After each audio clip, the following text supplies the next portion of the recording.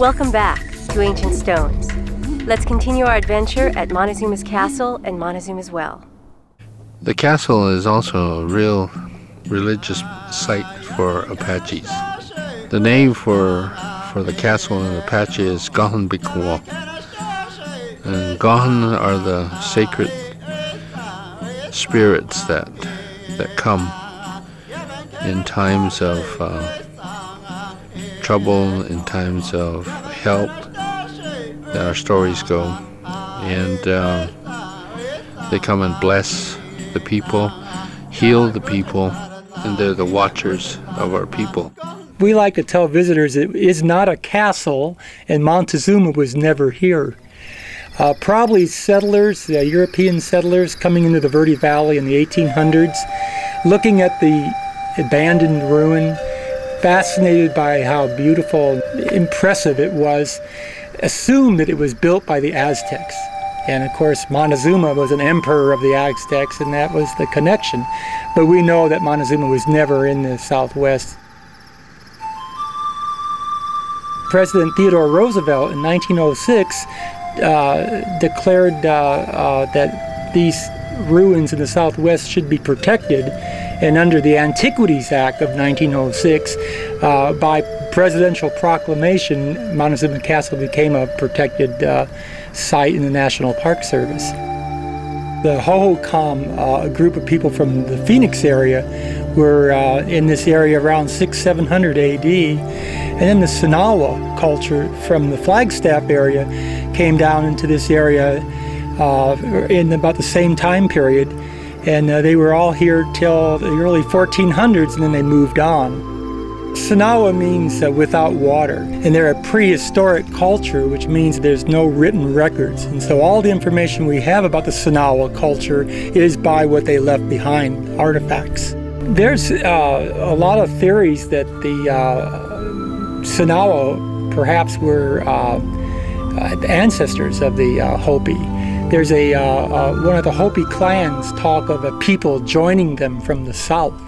Hochikvaipi is the name of the uh, is the name of that place, uh, Montezuma Castle, and it's named after a river, that little river that runs through. It's called Hochikavaya, and I guess today I, in Arizona map it's called the Beaver Creek, and long time ago, and still today, uh, Hopis use that as a as a mainstream for their farming, agriculture and they take some of that back home. Beaver Creek is one of the tributaries of the Verde River, and it's a prime example of a riparian habitat. Uh, riparian meaning uh, permanent water. Montezuma's castle overlooks Beaver Creek. The structure is similar today as it was then. The cliff dwelling is 90% original. Uh, there's been a little bit of work, uh, some steel beams put inside the, the dwelling, uh, some uh, new mud plaster uh, on the outer walls. We think it was built in the 1100s, and it probably took about 100 years.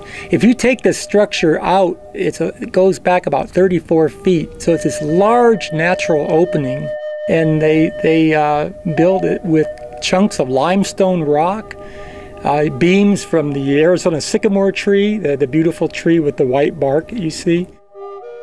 How did they get up into the cliff dwelling? Well, they probably made ladders um, from the fiber of the yucca plant uh, and made uh, rungs of rope to get up into the cliff dwelling. Uh, it's uh, about the size of a large three bedroom house of today. It's about 1,800 plus square feet. The rooms are about 10 by 10, and I can stand inside the cliff dwelling in the rooms. Uh, there's uh, stains on the walls, smoke stains, so we know they had fire inside for probably heat and cooking. There were many artifacts that revealed what little we know of their culture. Stone axes, uh, digging sticks that they used for their farming, pottery, and uh, quite a variety of pottery was found also. What was discovered taught us about their lifestyle. Well, we know they were uh, farmers because they left behind metates that are trough shape, which is an indication of formal agriculture, and they even found corn cobs. Uh, they also hunted and gathered. And then also, they were known for uh, excellent weaving. They probably uh, had that as a trade item also. Just a little to the south of Montezuma's castle is the remnants of a village now called Castle A. And unfortunately, there was a uh, apparently a large fire that created, uh, uh, well, destroyed Castle A, and all we have now is just the back walls. But you can see where the the uh, the beams went into the uh, the back walls that form the ceilings, and it was a, a larger uh, site than actually Montezuma Castle. We are still left with the question: Where did they go? Yeah, they were here at their peak for over 300 years and uh, population of the Verde Valley could have been as many as five to 10,000 people. And with all the uh, farming that went on, the uh, collecting uh, wood from the trees, the denuding of the vegetation, there might have been uh, problems with uh, erosion, flooding. certainly, the game probably moved off from the area.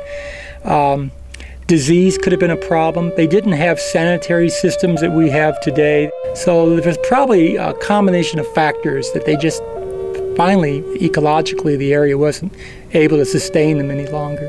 At least that's a theory. We don't know for sure why they left. It seems to be that our people are always thought of as relics, and uh, we kind of disappeared with with history but we're still alive and we're still here.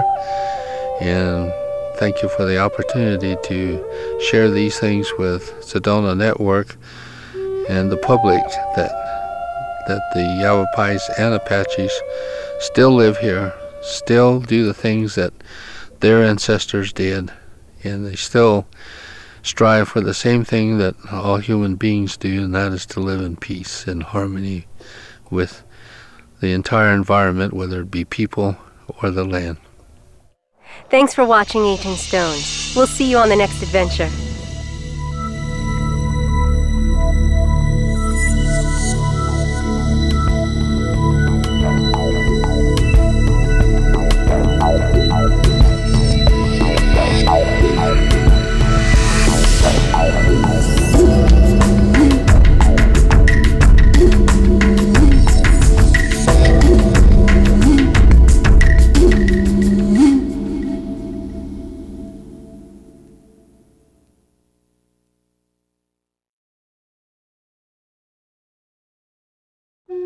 The music you heard in this show was courtesy of Canyon Records. Their CD collection can be purchased at Canyon Records Productions.